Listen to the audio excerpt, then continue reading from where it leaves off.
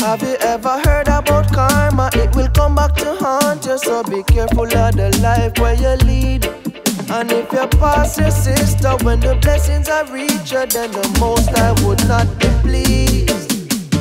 What you gonna do when the tables turn? When all the bridges are burned, You're still not sure no love. It's like you're not learn. You have to be a brother's keeper.